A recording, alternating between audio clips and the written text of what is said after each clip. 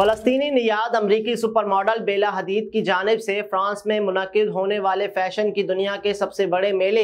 Cannes میں فلسطین کی حمایت نہ کیے جانے اور بولڈ لباس پہننے پر انہیں تنقید کا سامنا ہے۔ بیلا حدید اور ان کی بہن جی جی حدید کو ہمیشہ سے ہی فلسطین اور فلسطینیوں کی حمایت کرتے ہوئے دیکھا گیا، کیونکہ ان کے ابا اجداد بھی فلسطینی تھے اور وہ خود کو فلسطینی ہی کہلاتی ہیں۔ تاہم توقعات کے برعکس، بیلا حدید نے ستترویں کانس فیسٹیول میں فلسطین کی حمایت نہ کی اور نہ ہی فلسطینیوں سے اظہار جگجہتی کے لیے انہوں نے فلسطینی جھنڈے سے مشابہ لباس پہنا۔ عام طور پر فلمی میلوں اور فیشن شوز میں اداکاروں اور ماڈلز کی جانب سے فلسطینی جھنڈوں اور فلسطینی لباس سے ملتا جلتا لباس پہن کر فلسطینیوں سے اظہار جگجہتی کیا جا رہا ہے، تاہم بیلا حدید نے ایسا نہیں کیا۔ عرب نشریاتی ادارے لبنان چوبیس کے مطابق بیلا حدید کے انتہائی اریاں اور بولڈ لباس پر عرب صارفین ناراض دکھائی دیے۔ انہوں نے ماڈل کے لباس کو شرمناک قرار دیا۔ اسی طرح عرب ویب سائٹ نبز نے بھی اپنے رپورٹ میں بتایا کہ بیلا حدید کے لباس کو عرب عرب مداحوں کی جانب سے بےہودہ قرار دیا گیا اور ان کی جانب سے